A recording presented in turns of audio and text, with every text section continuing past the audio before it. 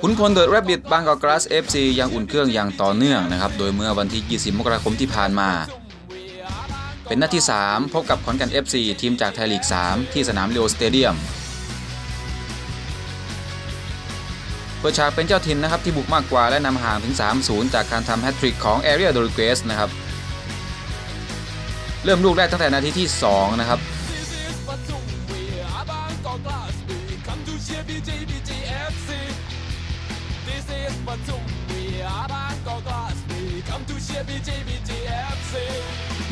ตามมาด้วยนาทีที่ 27 นะครับแต่ตัวมายิงจุดโทษ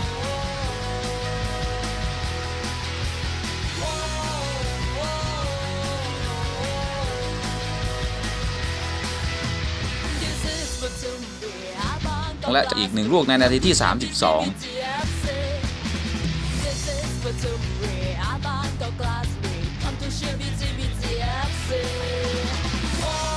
ส่วนขอนแก่น FC ไล่มา 3-1 จากชลินบุตรราชในนาทีที่ 33 นะครับ และหมดครึ่งแรกด้วยสกอร์นี้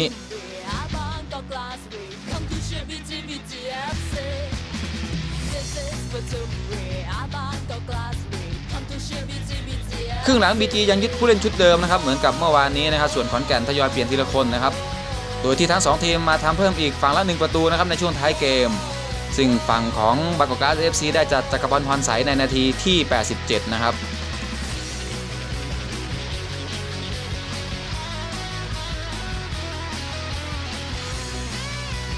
ส่วนขอนแก่นได้จากทศพลยอดจันทร์ในนาทีที่ 88 จบเกมนะครับบางกอกกล๊าส FC ชนะขอนแก่น FC 4ประตูต่อ 2สำหรับนัดต่อไปนะครับบางกอกกล๊าส FC จะแข่งขันฟุตบอลการกุศลรายการสิงห์ยันม่าร์ คัพ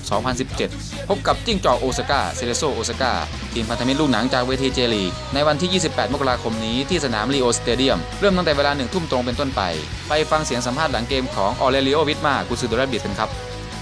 เขาชนะเกม Uh, look, I'm very happy. It was a very difficult game. โอเคก็ happy มากครับกับเกมที่ยากลำบากเกมนี้ Konkan um, really um put us under a lot of pressure, โอเคขอนแก่นเขากดดันเราได้มากเลย and um, I was pleased with a lot of the times that we didn't panic and we were able to uh, play our football. โอเคแล้วเขาก็ชื่นชมนะครับที่เราไม่ได้ตกใจตื่นตระหนก เราก็เล่นฟุตบอลของเราต่อไปได้ We scored some nice goals. โอเคทำประตูสวยๆได้ Okay, so uh, again we uh,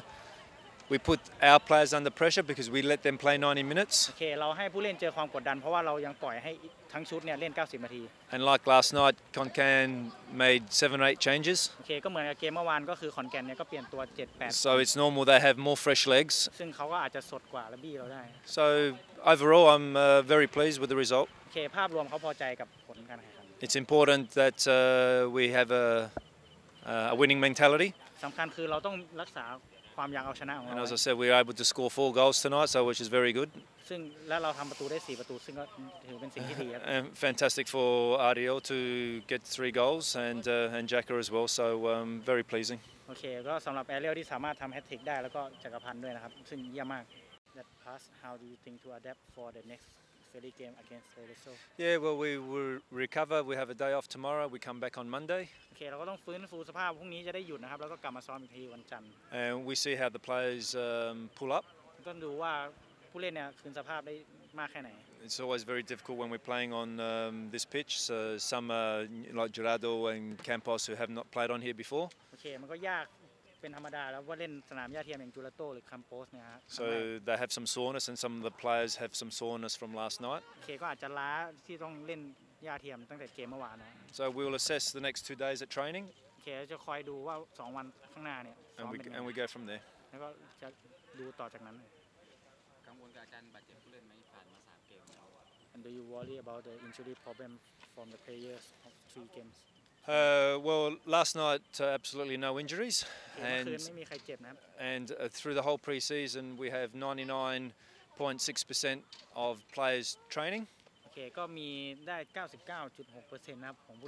We've had we've had only two injuries for a few um, for a few days, so it's been perfect. Uh, we have to see how golf is โอเค ต้องดูเช็คพิชิตด้วยนะครับว่าวันนี้เป็นไงบ้าง because that was a very silly tackle from the number 11. เพราะว่าเมื่อกี้แบบ อันตรายมากนะครับ He จาก sh- ผู้เล่น that, เบอร์ that, that is, should not be doing that, pushing him like this. So we have to see how he is um, in the next two days. 11ก็ไม่ควรเข้าบอลอย่างเงี้ยก็ต้องดูว่ามันหนักแค่ไหน Okay. ครับ